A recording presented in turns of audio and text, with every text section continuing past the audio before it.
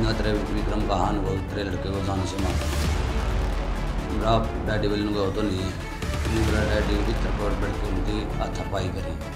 तो उन्होंने पकड़ के वो ले आगे मेरे। इन्होंने बताया भी दस तारीख को चोटें मारी थी और बारह तारीख को इसके पिताजी की मौत हो गई थी। डीएसपी साहब को भी मिले, एसपी साहब को भी मिले, एसएचओ साहब को भी मिले। ये पीड़ित लोगों की कोई सुनवाई नहीं हो रही है। तो ये कैथल पुलिस है जो मतलब कि झूठे केस करके ना भ्रष्टाचार फैलाकर ये लोगों से रिश्वत खा रही है और इनका कोई काम नहीं है। हाँ जी क्या नाम है? विक्रम है जी।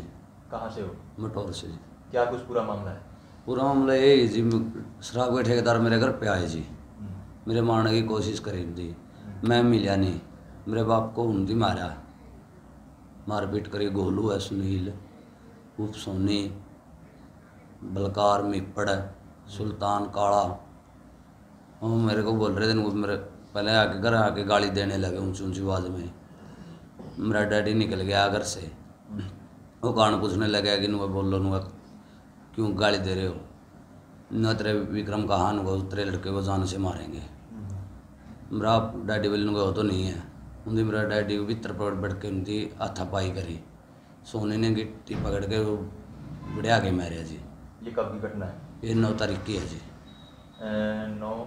नौ तारीख दस में महीना जी। अच्छा। रात साढ़े नौ नौ साढ़े नौ के बीच में जी। जी तो इसके बाद आपने कहीं कोई शिकायत? शिकायत कलाई थाने में करी दिया एफ़ जी।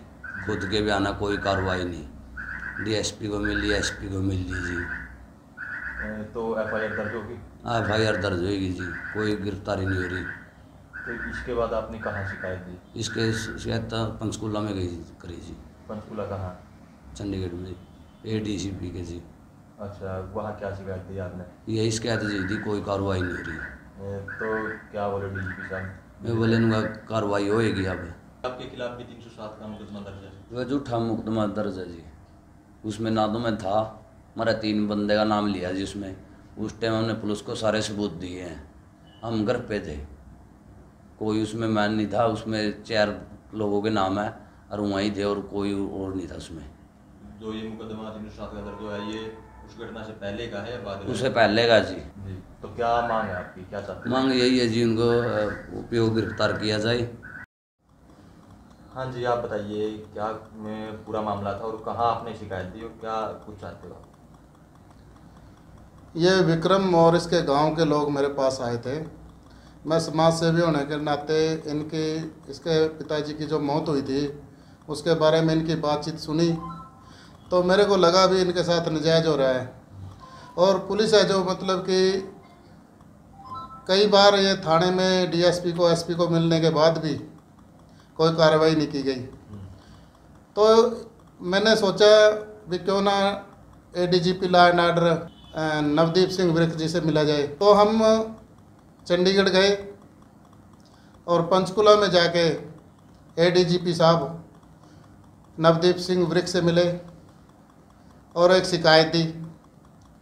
तो उन्होंने उस शिकायत को भेज दिया, पर इनको किसी ने भी आज तक नहीं बुलाया गया।